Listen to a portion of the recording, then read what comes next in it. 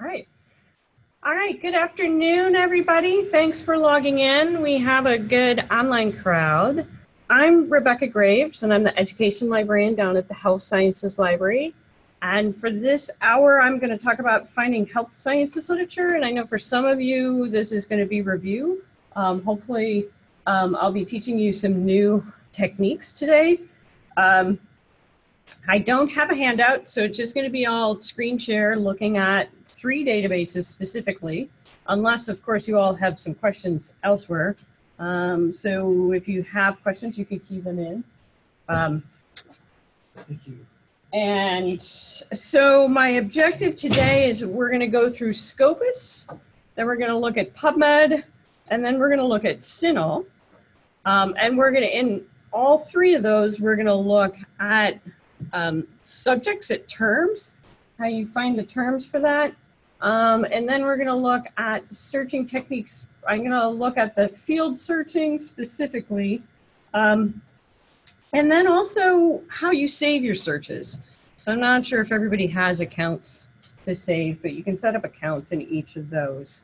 Um, and and there's going to be a few other things I'll talk about in between, but those are the big things is looking at Scopus, uh, uh, PubMed Medline, uh, PubMed parentheses Medline, and CINAHL, and then looking at using the terms, um, using field searching, and then setting up accounts.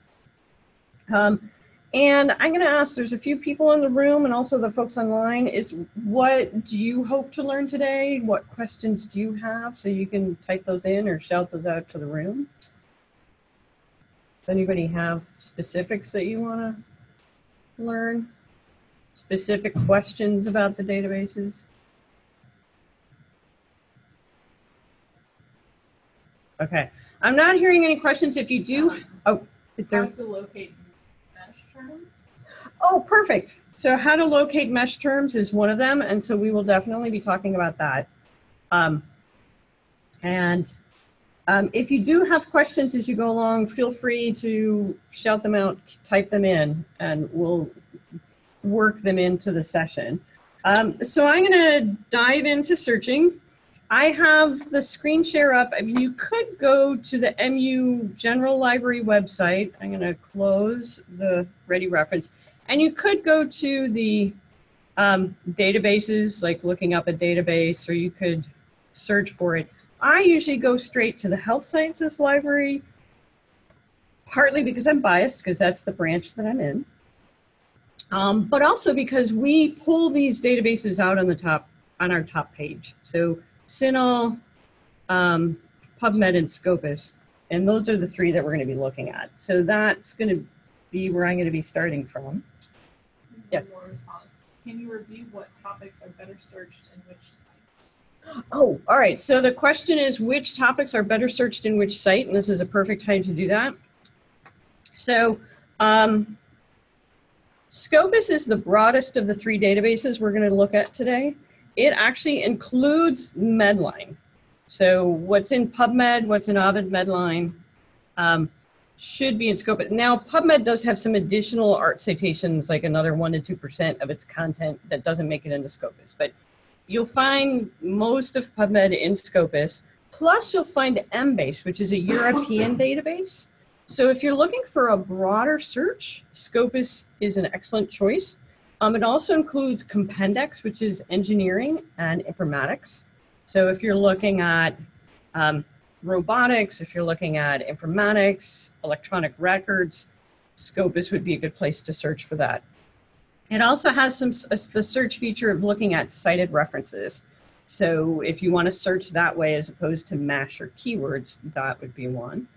Um, PubMed has PubMed's the big premier U.S. biomedical database. Really focuses on nursing. I mean, oh, that's okay. On medical nursing, has some dentistry in there. Um, it actually has a really um, ass- assistive, helpful search interface. Um, so, so you could use. I'm kind of distracted a little bit. Sorry about that. For those who are not in the room, So Scopus and PubMed are similar, although Scopus is broader and it includes the compendex, includes the engineering, um, and it also includes some humanities databases. CINAHL is focused on nursing, so it's the cumulative index of nursing and allied health. Um, so if you want to look at nursing, um, you might actually search both databases. It does have overlap with PubMed, um, but it actually has better indexing for nursing theory, nursing interventions. So depending what you're looking for, it might be easier to pull it out of CINAHL because of the indexing. Um, so there's a fair amount of overlap depending upon which topic, you know, which health specialty you're looking at between these three, but they do have differences. Um, so hopefully that answered that question. All right, now I'm going to go into Scopus, and I you can go ahead and click on it. If you're off campus, you'll have to log in with your PawPrint. Um, I actually have it preload, pre-opened up here. Um, and has it, uh, so how many of you, have you searched Scopus before? Have you used Scopus before? So those in the room are yes, no. Okay, there's two yeses, one no. Yes and no on the. Okay, so I'm going to start with some of the basics. So those of you who have searched it before, um, bear with me, um, but I'll be showing some others. Now, usually I flip this, but I decided to be devious today, and I said I'm going to start with Scopus because I give the databases personalities.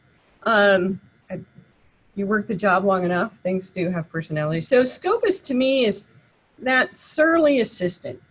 They're really good at what they do, so you don't want to let them go, but they don't really do any extra work.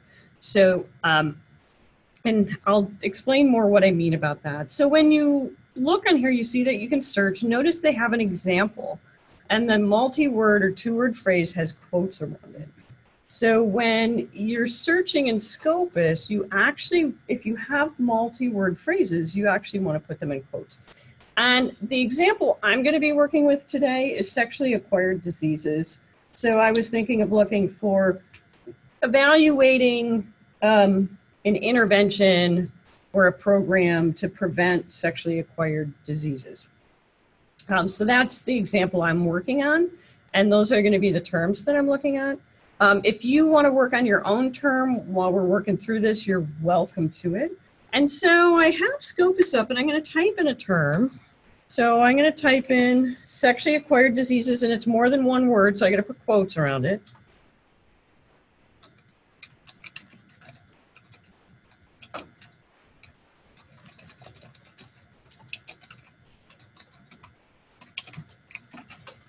And this is where, and I want to talk about um, subject headings and even just terms. Doesn't matter if you're searching Scopus, PubMed, CINAHL, what you're searching, you want to think about, well, what other terms could be used for this topic? Um, and now I wouldn't, I'm going to actually just hit search for this example, just because you might say, well, this is a topic that's new to me. I don't know anything about.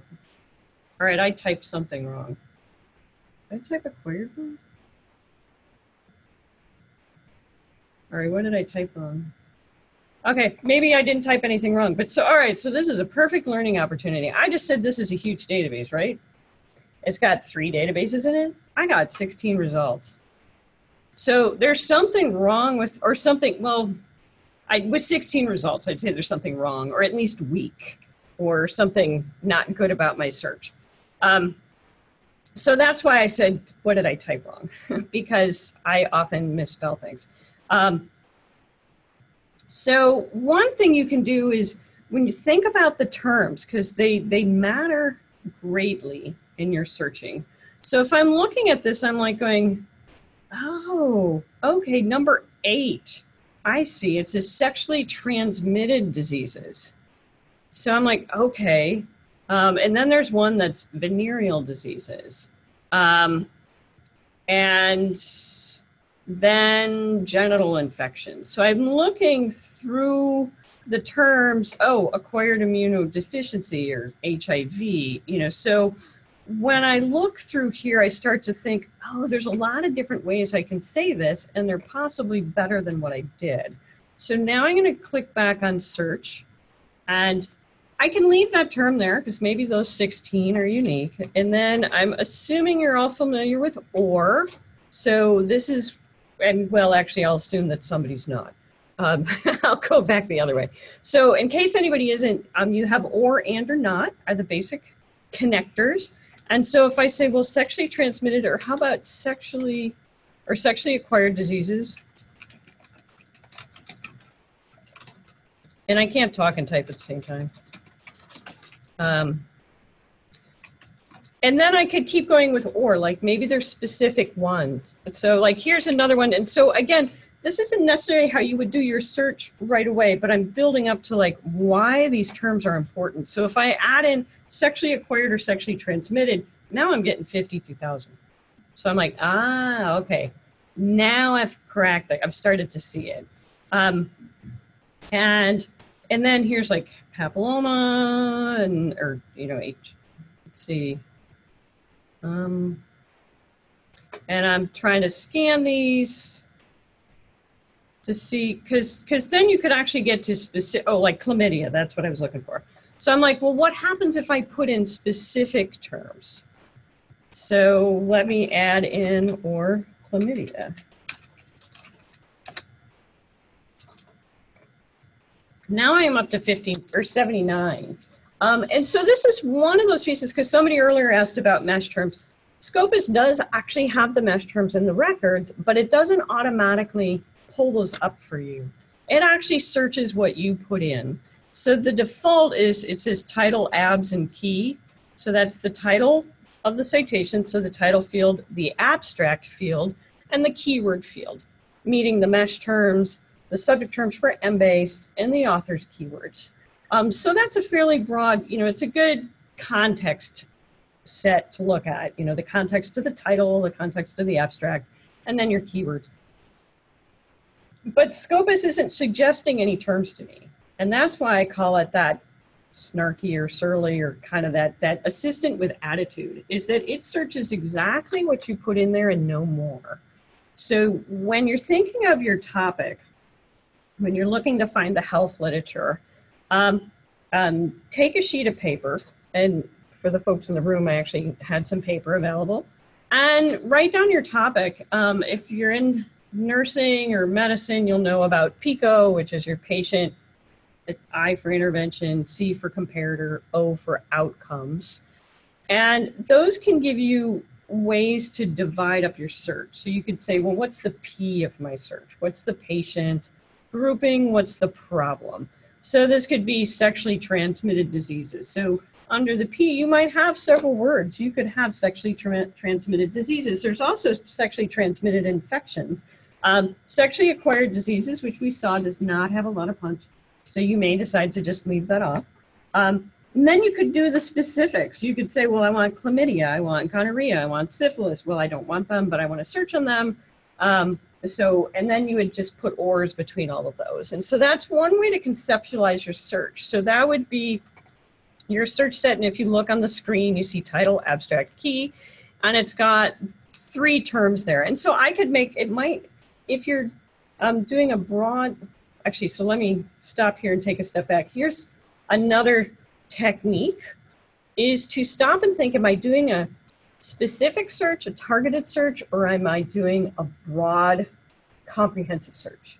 And that's where you would want to stop and say, okay, when I'm looking at my term set, if I'm doing a comprehensive search, like if I'm doing a literature review, or specifically if I'm doing a systematic literature review, I definitely want to get as many terms as there are to describe this topic.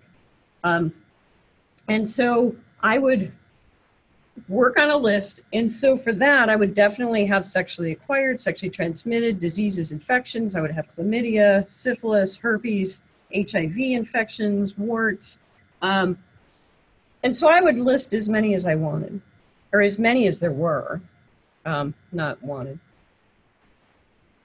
if I'm doing a targeted search, if I'm saying, well, no, no, I don't want to do a whole review of the literature, if I'm doing targeted, then I would say, well, what am I looking for? Am I looking at all sexually transmitted diseases or am I looking just at chlamydia?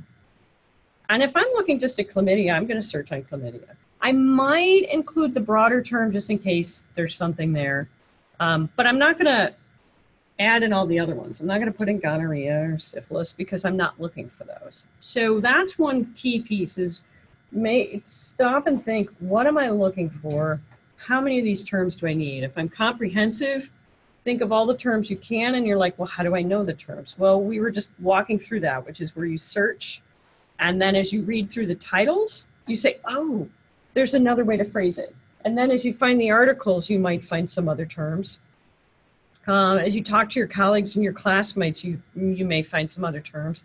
And so then you would come back and you would revise your search. Um, any questions on that part, like coming up with terms?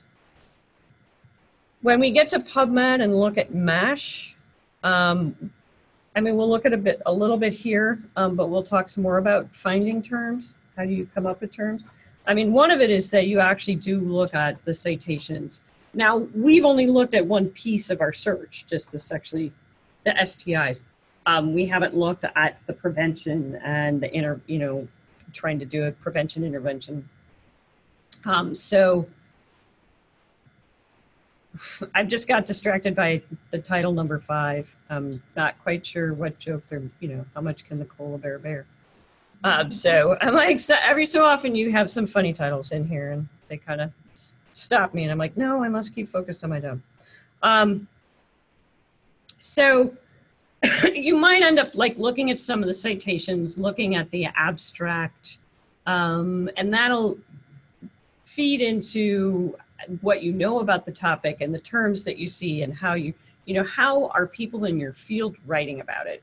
So that's one of the big things is just keep either a sheet of paper or a document could be a google document whatever works for you and keep track of your terms especially if you're doing a broader a bigger project if you're doing a you know all you need to do is find something you just need to sit down and find it and you're done you know one session in and out not as big a deal. But if you're working on a bigger project, you definitely want to track your terms.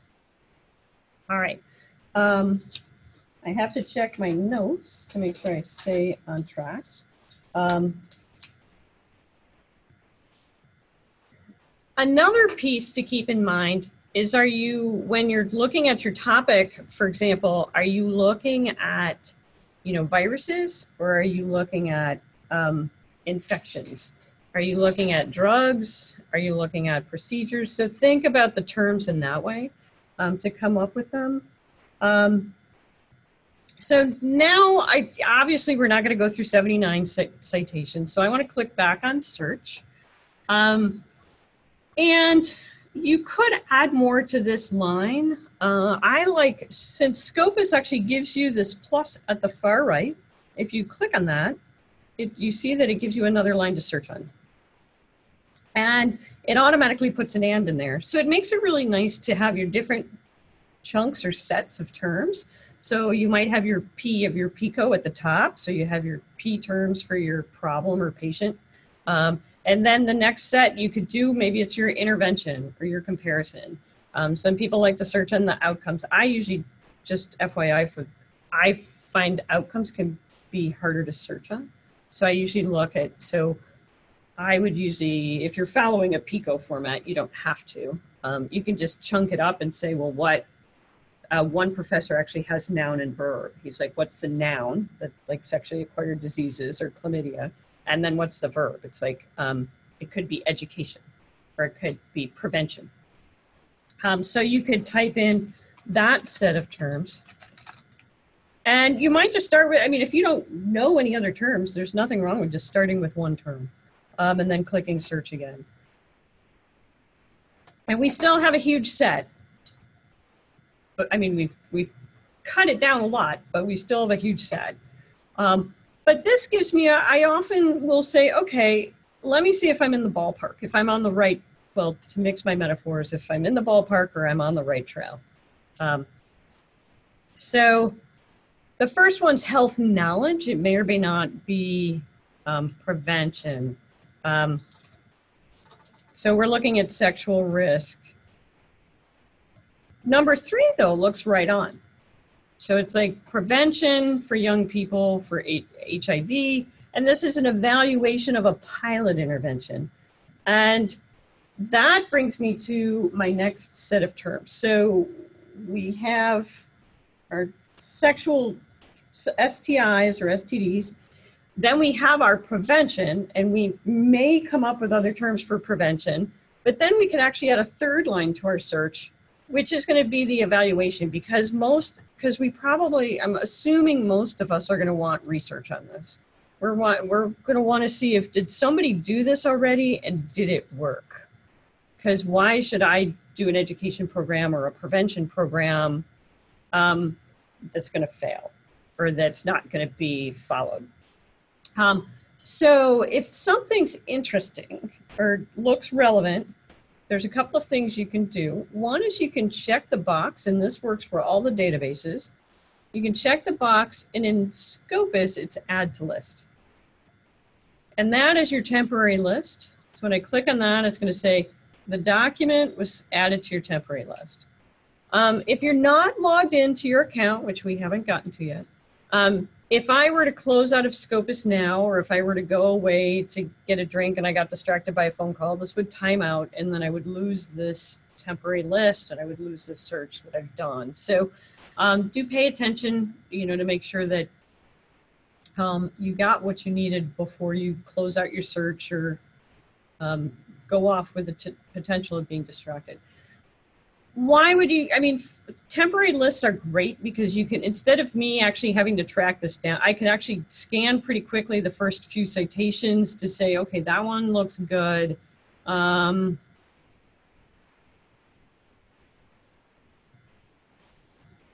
maybe number seven. Um, and, um,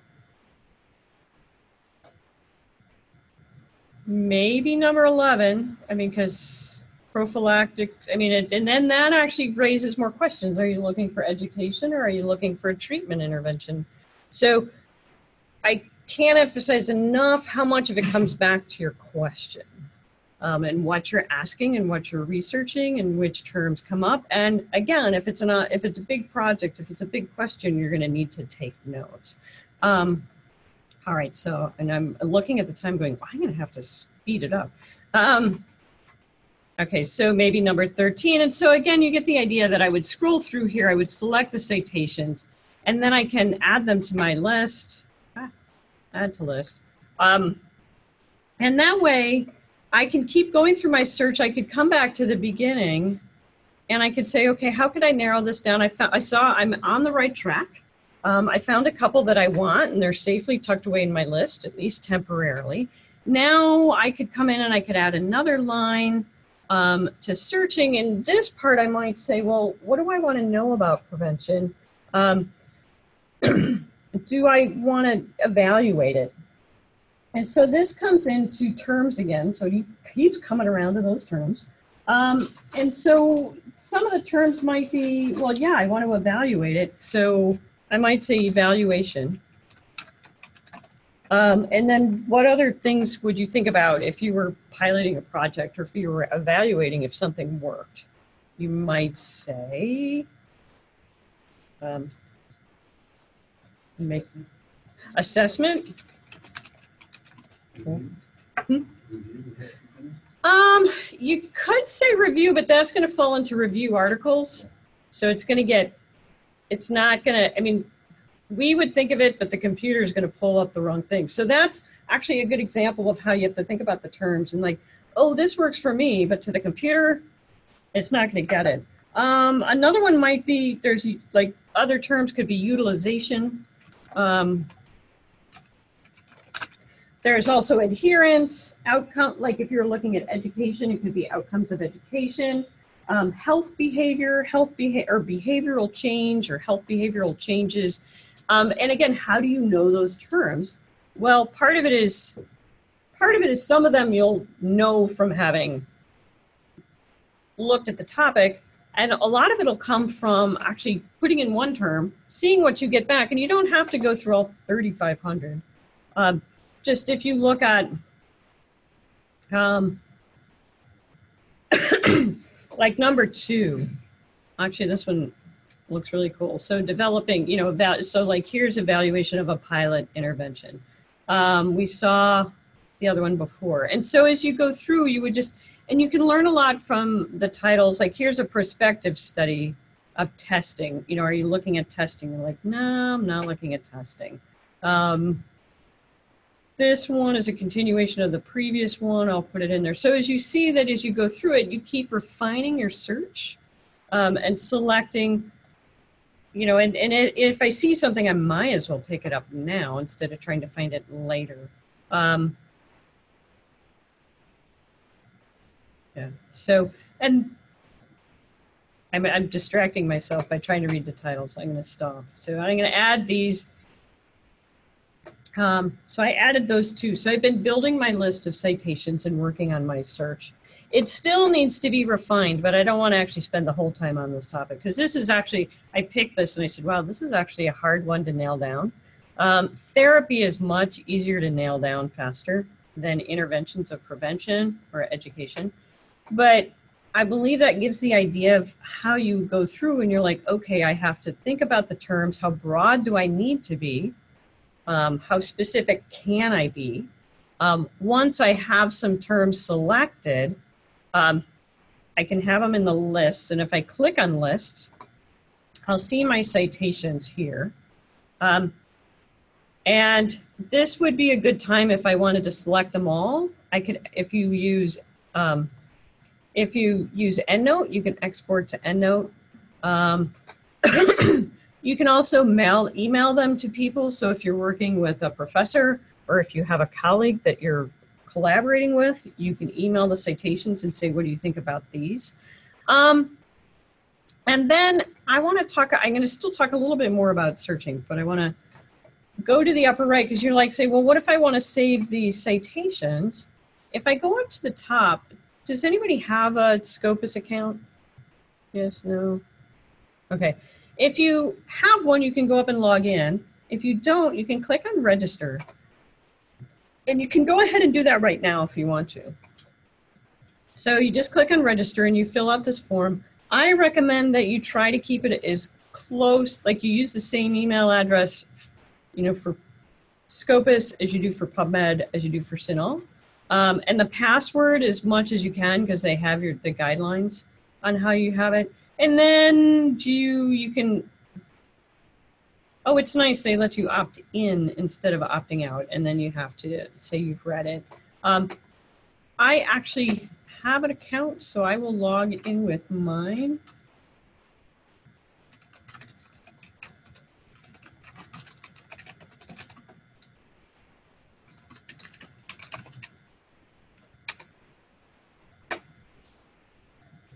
And once you're logged in, it'll have your name up at the top.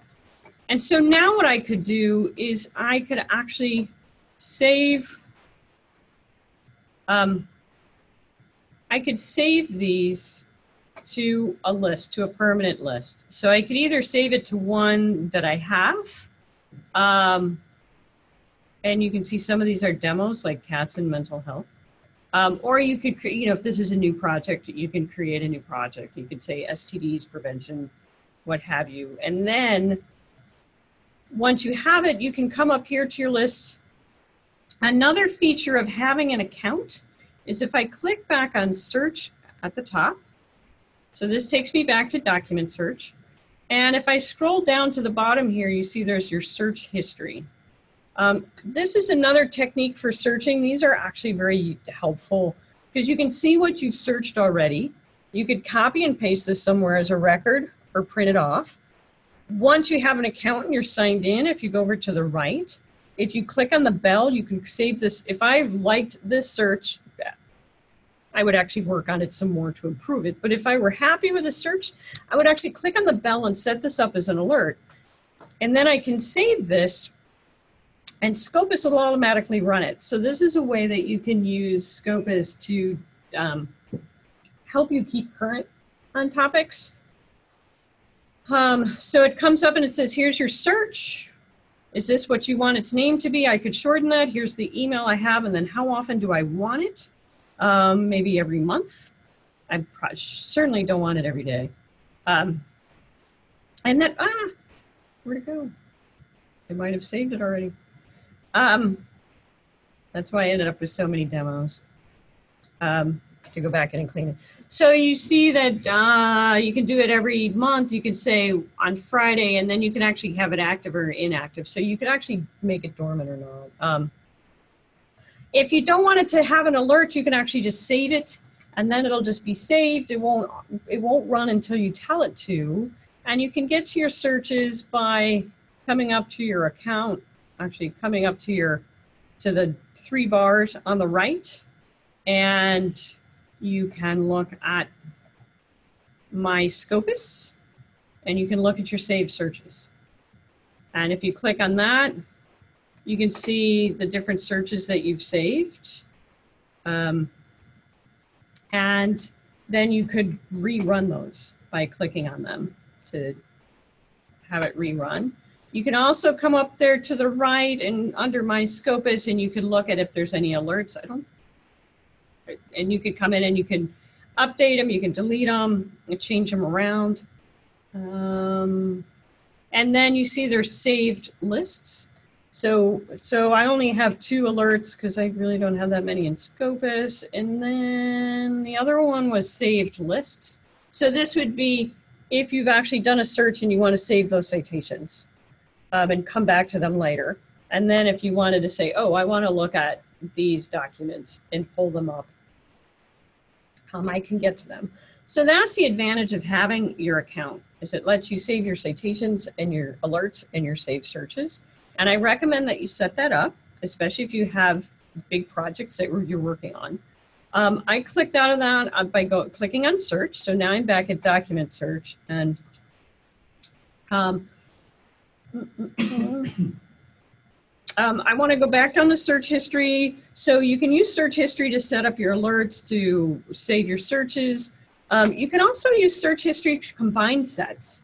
So if you did a set um, and you want to come, I don't have it set up for this in this particular instance, but if I had one that was sexually acquired diseases in different terms, and then I had another one that was um, prevention or um, patient education, and I wanted to combine it, I could combine set, combine queries, and they have an example of how to do that. It would be the numbers, so it'd be like number one and number three.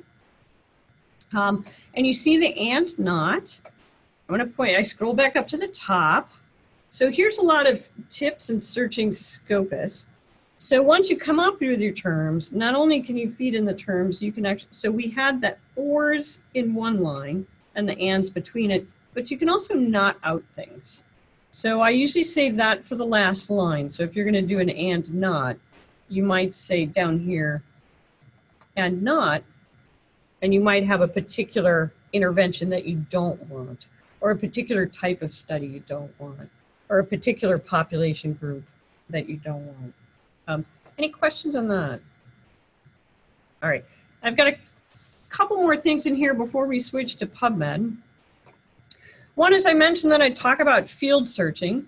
Scopus defaults to looking at article, title, abstract, and keywords, which are your text fields.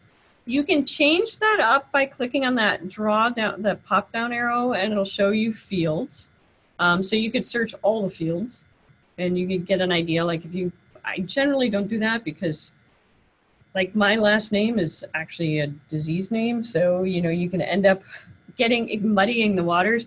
I actually found that MEWS um, is a modified early warning score um, used in nursing. It's also an address and it's also a last name. So, you know, so I'm like, I want to keep my authors and I want to keep my stuff separate. So I don't really recommend doing all fields. I mean, it might work for particular search. Titles, abstracts, you can look by affiliation if you're looking for people to partner with, um, if you're looking for places to apply for jobs at, you might actually search by affiliation um, to follow people or to see what that institution's doing, to see what research have they published on STDs or um, mental health or what have you. Um, so you can see there's several different options here. If you aren't happy with those options, there's a, some additional ones under advanced. So I'm going to have you all click on advanced. And I know that many of you have, since have you've used Scopus before, so here's some power searching in Scopus. Um, so once you're set with your terms, if you go into advanced, now Scopus advanced searching is really advanced. Um, um, so you're looking at this going, whoa, I'm not quite sure where I am. So I'll point, give a couple of queries. So your search string, that's jargon for your search query or your search question. The title abstract keyword is just, remember we searched everything by title abstract keyword. And so it has the first set in quotation mark, or in parentheses with ors, and then you have an and, and then it's telling you the next set was with title abstract keywords, and we only have one word in that, and then and. So it's just the same as we had on the first screen. Um, and they have parentheses around it to tell the computer solve these sets first before combining them back. So like algebra. If you look on the right, you see that you have the and, the or, and the and not, which we talked about. You also have, I want to point out the W, because that means within. So depending on your, search, this can be really key. Um, and I'm trying to think if I gave myself an example of that. Um, yes, because if you wanted to do an evaluation of a program, maybe you wanted to have um, evaluate and program those two words, not as an exact phrase, because maybe that's too tight. Maybe that's too specific. But if you do program and evaluation, it could be, you know, they could be talking about different things. So they actually, if you're doing title and keywords in abstract, one word could be in the title, one could be in the abstract. So somewhere between an exact phrase with quotation marks and and is the W. So you can say, I want these words closer together. If you do, actually, I am gonna, if I clear this out. So what you'd want to do is, I have to do one step before I play with the W because I'll get in trouble. So down below the operators, you see the field codes and you see there's a lot more than there were on the main screen. Um, and you might say, well, wow, I'm glad they didn't show all these on the main screen because it can be overwhelming. Um, so maybe I want to look at, um, if I look at textual content, I can click on the pull down arrow and I can do title abstract. So I can click on that. Actually, if I click on the plus on the right side, it actually enters it up here under my search, my search statement, my query string or search statement. And then you see there's a flashing light there. And then that's where I can actually click on the W. So I could cut, so I have the W in there and I could put in um, evaluate with and then it's like, how many words do you think it should be? Maybe three words, five words. Um, and you'll get a feel for that when you read the read the um, the literature, read the articles in your field. Um, you might say, well, sometimes it could be five words. Nah, it's three words. Um, and the other thing with with is that it'll flip it either order. It could be programs that evaluate this, or you know, so, so, and then I'm going to click on search just to run the search. Now I didn't combine this with STIs and stuff like that. Actually, I probably should have done that. Let me back up. I backed up too far. All right, so I backed up too far. So I'll redo that, which will actually let you see it one more time. So I go down to my field codes and I click on the plus to put them in, and then I can put in program and then I can say plus to the W. Oh, I put it first, so I didn't need to put it that way. I did it right the first time. And I want to do three, an evaluation. And then I can say, at the end of that, then what do I want to do next? And then I want to do and. So I click on the plus, and then what text, what fields do I want to look? Maybe I want to look at, um, maybe I want a tight search and I only want to do keywords. So if I come down to keywords, I can do the index terms. And somebody asked earlier about mesh terms. The index terms are the mesh terms, and they're also the Embase terms, because remember I said it's another database of Embase. Now the trick is, is you have to know what those terms are. And as I said, Scopus isn't that helpful. So it's like, ah, you have to know those. I'm not going to tell them to you. Um, so I pro, I don't, I mean, you'd have to know, well, what is your mesh term? And I actually happen to um, have written it down and I know it's sexually transmitted infections. Or no, it's sexually transmitted diseases. Ah, and I keep forgetting to click on the plus sign. So you can see it says index terms, and I want to key in sexually transmitted diseases. And then I would click search and see what I get. And I get 100 documents. Um,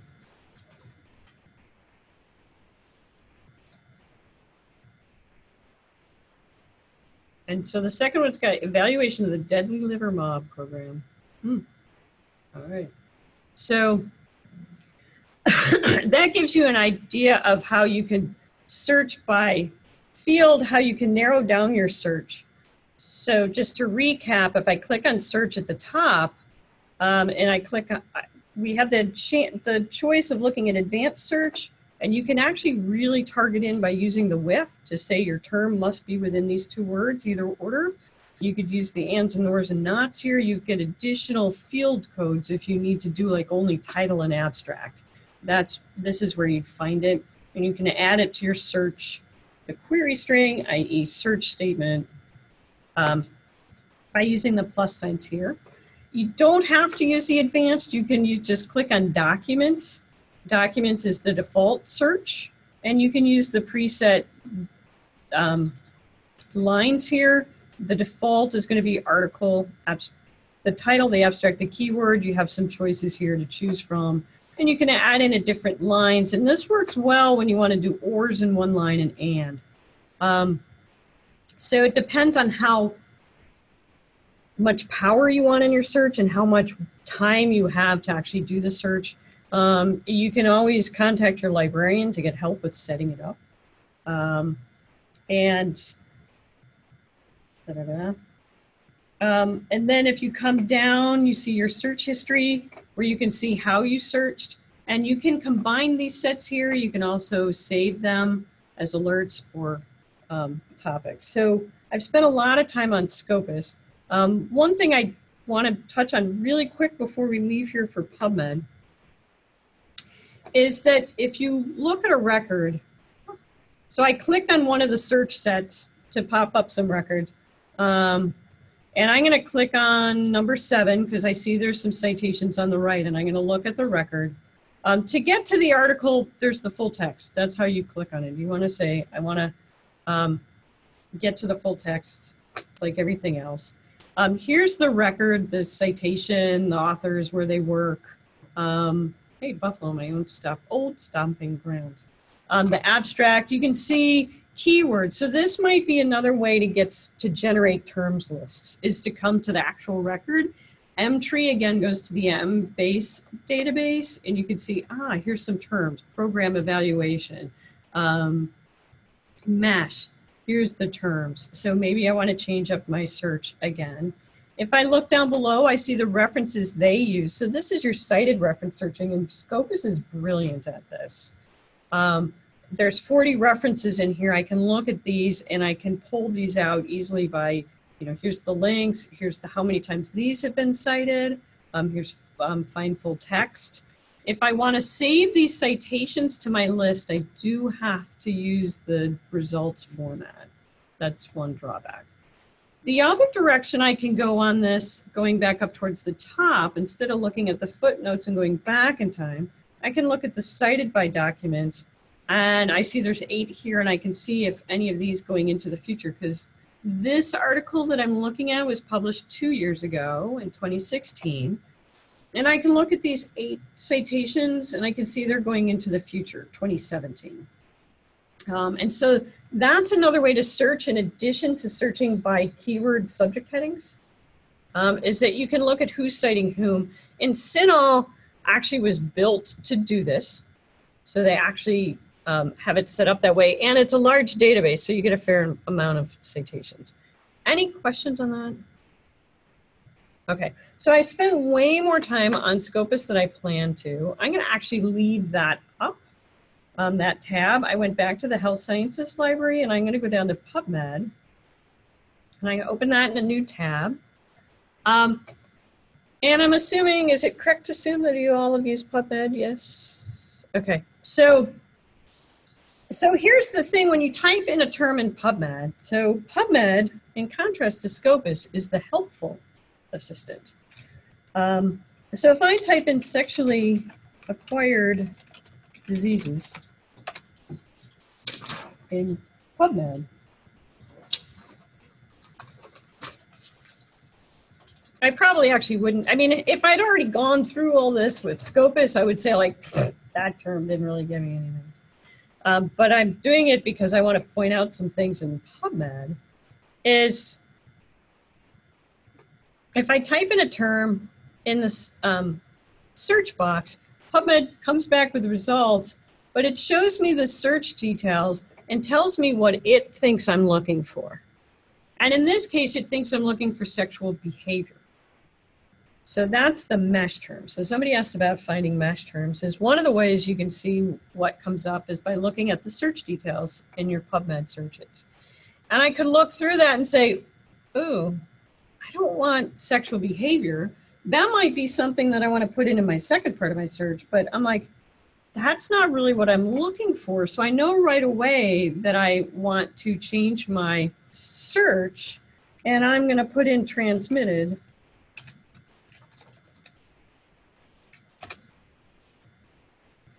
And I can see that my citations have gone up. Um, then if I come down here, I'm like, oh, okay, sexually transmitted diseases MeSH term.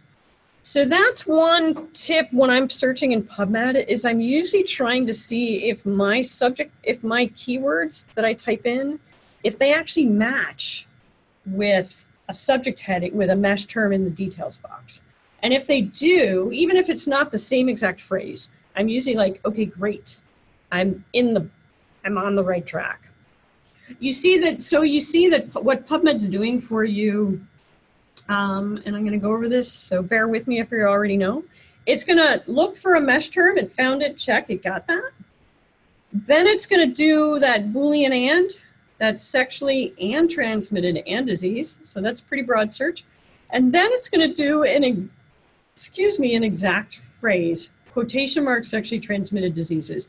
The, these two are going to be in all fields, meaning title, abstract, um, author's name, author affiliation, the subject heading. So it's going to be all over the place. So um, if you think, well, you know, this one with the ands, that's just going to be way too broad. Um, I can take that out. So I can change up my search down here in search details, and then I can click search and redo it. Um, so that's a tip to look at. Do you always have to look at search details? No. Um, if you know your topic, you're probably good to go. I do look at it. A tip is when I look at it is if I'm trying to figure out what my search term list is. So if I have a new search, like when people ask me, oh, would you do a search on this topic? Um, so I'm going to be working on some searches this afternoon. I am actually going to be playing around with the subject headings, and that's one of the places I'm going to look. And having looked, in, usually I come into PubMed first. I did want to show that, like in Scopus, you really have to build it up because unlike PubMed, it's not pulling in any other terms. Um, the next thing is I want to talk about um, mesh terms.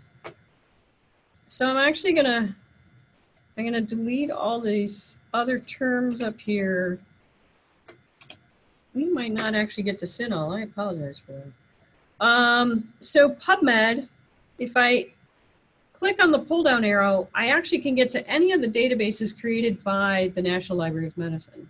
So I'm going to scroll down, and one of them is MESH. I like to think of it more as an index or directory, and then click on search.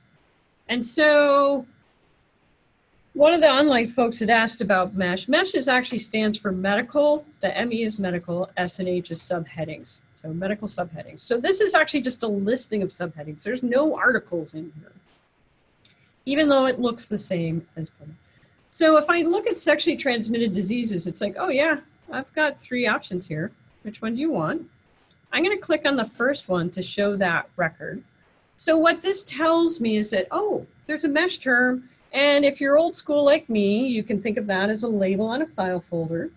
Um, if you're new school, you could think of it maybe as a Pinterest label or as a topic heading for subjects in a blog. Um, so those are your mesh terms. And hopefully you control them or keep them clean or consistent. So that's what they try to do with mesh is control it or keep it clean. Um, and when you look at this, it tells you that it was started in 1987 and it gives you a definition because it's still largely humans that read through these articles and assign these subject headings. Um, so they have subject specialists and they get paid to read articles all day long. Um, or whatever their contract is. I'm not sure if they were fully. The first set of terms is your subheadings, and this is a way to narrow it down. So you might say, hey, wait, there's prevention and control right there. So I could look at sexually transmitted and say, I want only that facet of my term. The next thing is that it has um, restrict to major topic. So you could say, I only want it where this subject heading is the major theme of the article. So if you're looking at a targeted search as opposed to a broad search, you can narrow it down this way. Um, the next part is what terms get tagged. So if I see sexually transmitted disease as a mesh term, that means the author wrote about sexually transmitted diseases, STI, venereal, venereal diseases, um, infections, etc.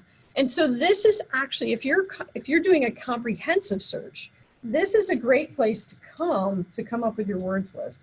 Because remember, in Scopus, we had to feed in all the terms.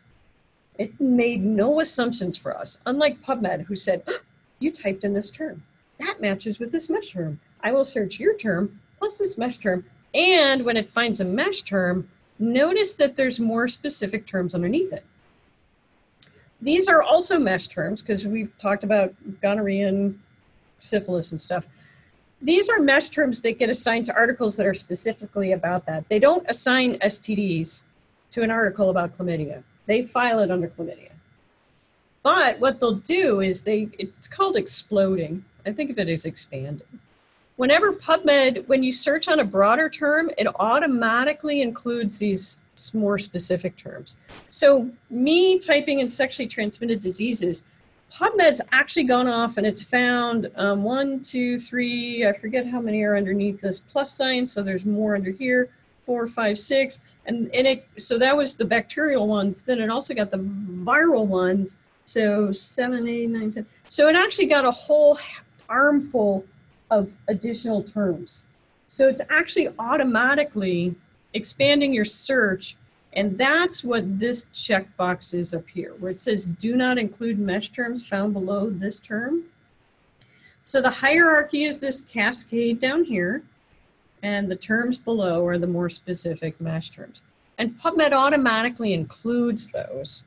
Um, and you can turn that off because sometimes you might say, well, really, I only want STDs in general, and then I want you know chlamydia specifically. So I could say, no, no, no, don't take them all, just take that. And I could add that to the search. So I have, it's actually, I'm building up my search here. And you see no EXP, no explode, don't be expanding or exploding this. Then I can go to chlamydia by clicking on that term. It'll, I'm still in mesh. I can take that term. And then on the right, I'm to change that to or. And I can, again, I could say prevention and control. Um, do I need to, I mean, do you want the more, there's some specific terms under here. Got to make another choice again. Do you want these? You might say, oh, yes, I do. And then you're good to go. Or you can say, no, I don't. And then you could say, add that to the search builder. Um, so does that make sense on how powerful that is? Another, I, I'd like to, rehabilitation's a fun word to look at because you can see all the different ways of rehabilitation. United States is another one because if you put in United States, all the states are subject headings. And so PubMed will automatically explode to catch US or Alabama or Arkansas or Wisconsin, etc. Whereas in Scopus, you would actually have to key in every single state name. Um, which is why I can't recommend enough. If you have a search you're going to do over again, put it in a Word or a Google document so that you can copy and paste it. All right, so how do I get out of here? I to get back to PubMed, because remember, we're only looking at mesh terms. I can click on Search Medline, and it takes me back to PubMed. So I see that up here. Here's my search.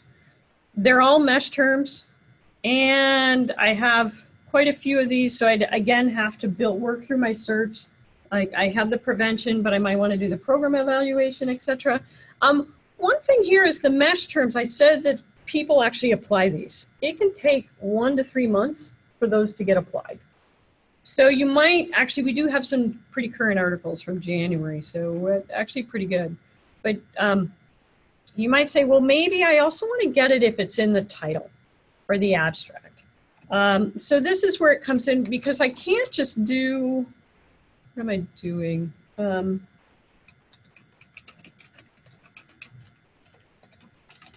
if I just type this in and press enter, what's going to happen?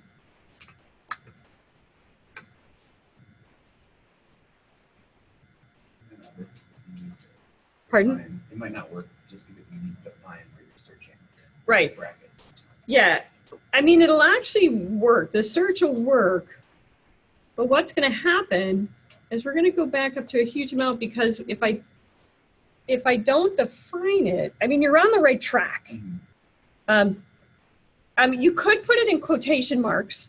That would actually take it out of mesh and it wouldn't explode it. But one of the things I want to point out is that remember when I went in, I didn't want to explode this term. And if I just put in a term and I don't define it, it will find the mesh again and it automatically explodes it again. So you just undid all that work we did by going painstakingly into mesh. So that's where advanced comes in. So if I come into advanced, um, advanced isn't as fancy as Scopus, so it's not quite as like, whoa, where are we? Um, this is where your history is. So I do like to point that out. So if you need to copy and paste this somewhere, they also have this quick download where you can download it to an Excel spreadsheet. Um, and you can actually use the fields here. It says all fields in the builder. And you can say, oh, I want just title and abstract. So you can say, what if I wanted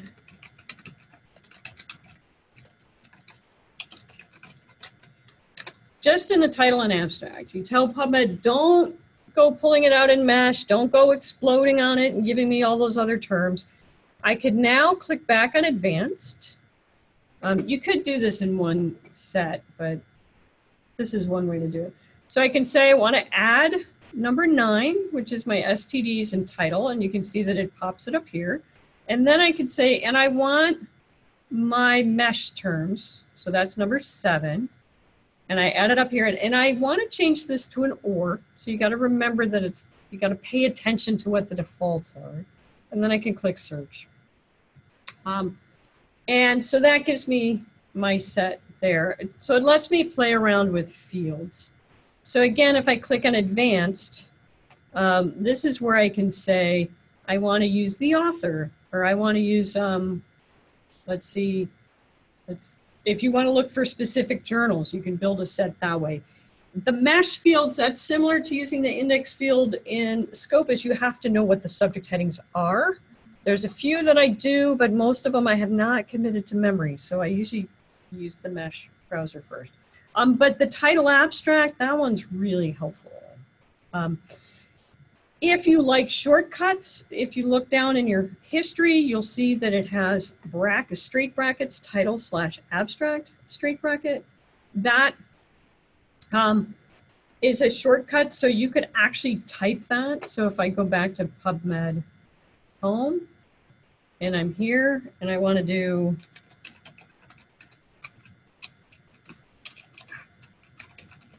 sorry.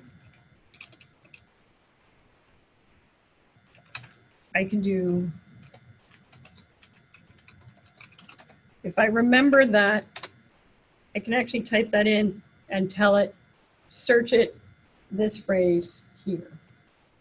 Um, Somebody mentioned quotation marks. If I do quotation marks in PubMed, especially without any fields on it, it will actually turn off the match to mat to mesh. So um, generally in PubMed, I don't do. You have to do it in Scopus, but I generally don't do it in PubMed unless I specifically want an exact phrase and I don't want it to look for the mesh terms. Um, I know we're right at two o'clock, but I want to point out um, I got a little too excited by Scopus. Spent a little too much time there. um, on the left-hand side, you have the filters. You do have filters in Scopus. They're not as robust as the ones in PubMed in that they don't give you the same options. PubMed has the article types. If you click on customize, you see that this is where, this is another way you could narrow this down. You could look at clinical trials or you're looking at comparative studies. They do have evaluation studies, um, observational studies, etc. You see they don't have cohort studies in here. That's a MeSH term.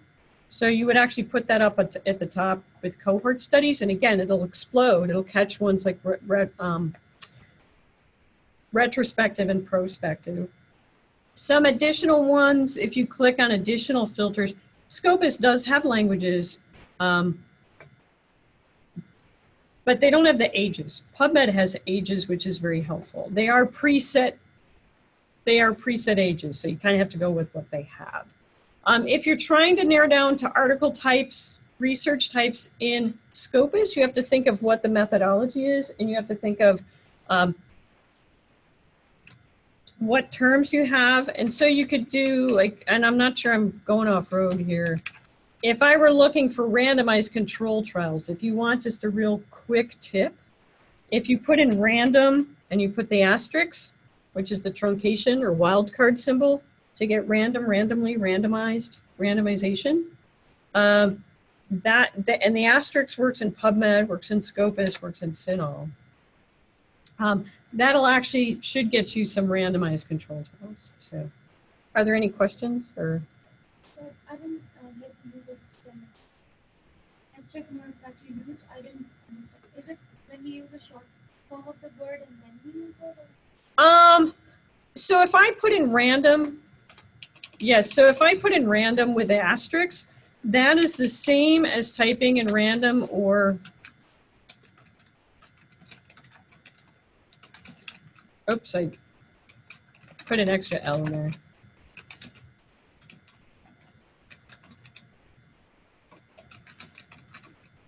Does include all the words after random? Yeah, so I could key in all the different endings of random. So the asterisk gets all your suffixes.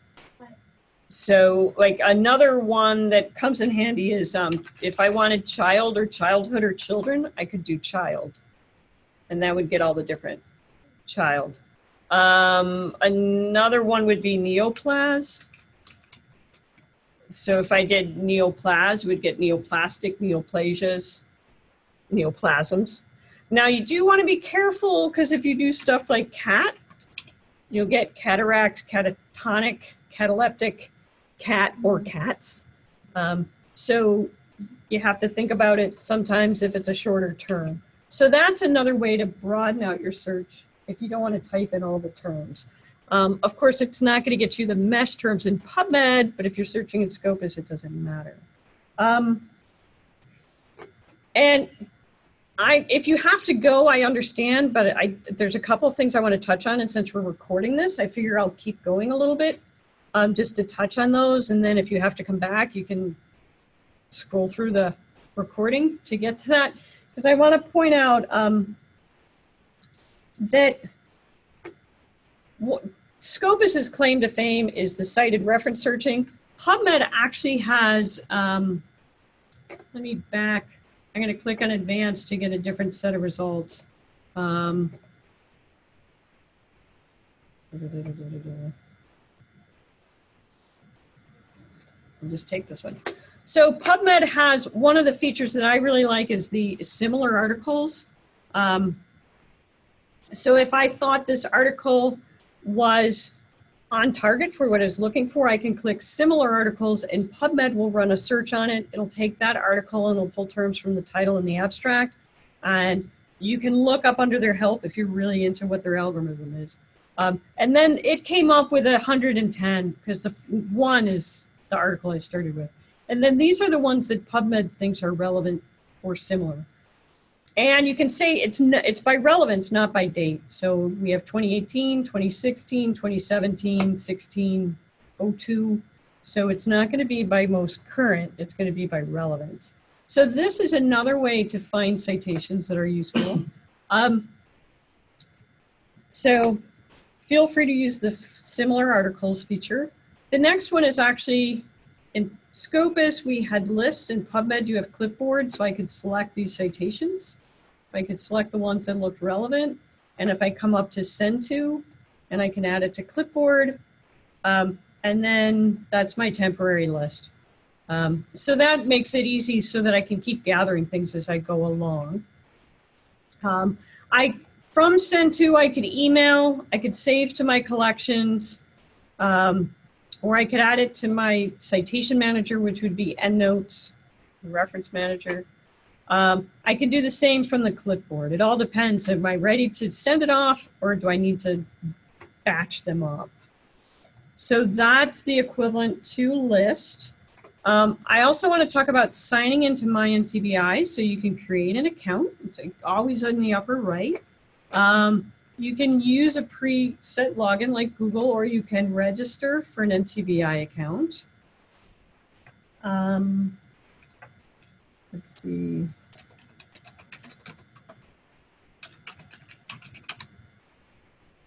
So if I go in and I have my account, if I go to advanced, because I didn't see any of my searches, if I go to advanced, I could, if I there was a search I wanted to, I could click on the search on underneath search number, and I could save it to my NCBI. I can also save a search from the main screen. So if I have a search going, if I have a search showing in the site in the search box, I could create an alert, which is saving my search. So that's what I would click on. It's going to say, what do you want to name it? These are your search terms. And then, I, yes, please, I want to update how often, what format. If you just want to save the search, you can say no thanks. To get to your searches, you would click on My NCBI. And you will see your saved searches. And then you'll see your collections. Your collections are assumed to be private, but you can make them public, which gives you a URL that you can share with colleagues. Um, so you can share those. Pretty cool. Um, when you're logged in, it'll save your search history for, I think it's at least three months. So if you forget something, you need to come back. You can find it. And here's one piece. Um, I'll walk through this so it's on the recording.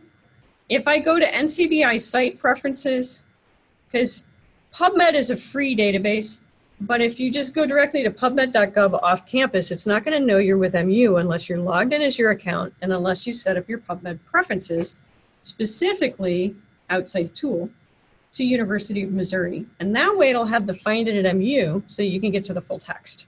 So I can click on outside tool, which sounds like an insult. Um, they have almost all the universities in the world, so you're going to want to click on you. and then it's about halfway down. So you just kind of take that slider halfway down, and you see University of Missouri Columbia. Check that. You can only check one institution at a time. So if you change affiliations or have multiple affiliations, you'd have to go back and forth to see who has the better library. um, and scroll up or down, click save, and then it's set. And what that means is that if I log on to any computer anywhere, I don't, as long as I'm logged into my NCBI, my RevGraves account, it's going to know that I'm with MU. So if I click on my NCBI, and then to get back to PubMed, it's showing PubMed here, I can just click on search. Um, and to get back to a search, I'll click on advanced and I'll pull up one of the sets. if I click, if I say, you know, I really, so these are free articles, so it doesn't matter who I am, where I am, I could get those first ones. Um, but if I'm looking at number, um,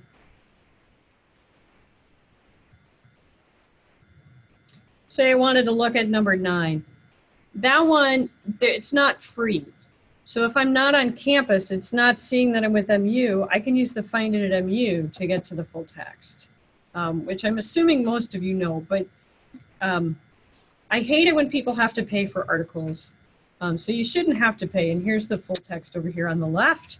Um, if you have any problems, you can report a problem. You can also request a copy. So if it ever comes up and says not available at MU, look for the request a copy because you can use interlibrary loan, which is free to you. The libraries pick up the cost. And that's true for all the databases. Um, so those were the big pieces in PubMed. Um, and since we're recording, I'm going to touch it real quick on CINAHL. I'm not going to go into the searching, finding the subject headings, but I do want to point out you can create an account the same way by clicking on sign in, um, and you would save an account. Um, folder is the same as lists and clipboard, so it gives you a temporary account. So that's how you would work that piece. Um, CINAHL is actually somewhat helpful of a database.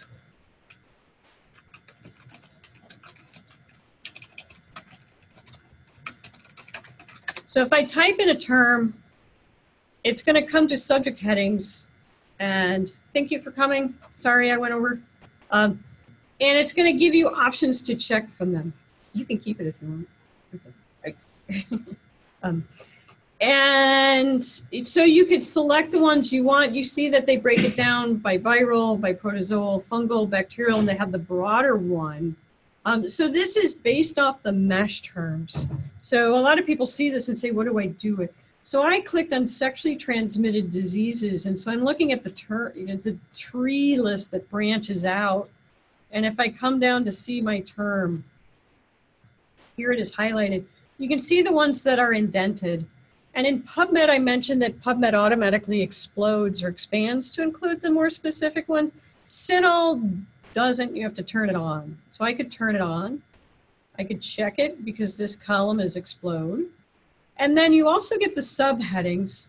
So I could also pick subheadings. Um, and then it puts it in a basket on the right and I can click search. Um, so if you're going through one term at a time, leave it as it is. Just type in one term, click search. That's good for finding sub um, the search terms. Like which term should I use? It gives you suggestions. But you might say, well, wait, I don't want to search that way. I know my terms, or I want to do a quick and dirty search. There is that little checkbox here.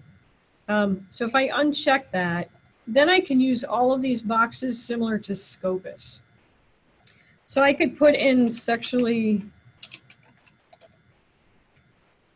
and I'm going to jump down. Somebody else teed it in, and then I could put in prevention, and then I could put in program evaluation. And you can see that it actually is going to, if you leave the fields unselected, it'll do all fields, but you could actually pick a specific field if you wanted to narrow it down. It defaults to and, and then I'm going to click search. And so I get 189. My search history is right here in the middle of the screen, so that's easy to find. I could look through these. I could add them to the folder as I go um, and then share them. There are some refined results on the left. I'm almost done. making it even 15 minutes over. Um, CINAHL has, you can narrow it to peer reviewed. On Scopus PubMed do not. You can narrow it to just research articles. Scopus PubMed don't. Scopus, you have to type in your methodology terms. PubMed, you can use the, you can either type them in or you can use the article types. Um, and there's also show more that pops up here. So again, you can look at your article types if you want to specify clinical trials, systematic reviews. You can do peer reviewed, you can do age groups here, you can exclude Medline records. Um, so you've got some options here. Um, and I'll close out of here. So that makes it easy. So that So in addition to going back to the top of the hour, CINAHL is really focused on nursing and nursing topics, so it's got better subject heading for that. It also lets you do these pre-check boxes for just give me research. I don't care what kind, just research. Or give me peer review. So those can be quick tips, and that could tip you to do I want to search CINAHL? Um, and I think I'm, yeah, I mentioned that you can sign in. So sorry that I went over 15 minutes. Um, I didn't need to tr- chop this down. So if anybody has any questions, all right. Um, you're always welcome to contact us if you do have questions um, to ask us to help you with searches. We can meet with you either in person or in person via Zoom. Um, so thank you for attending and thank you for your patience for the extra 15 minutes.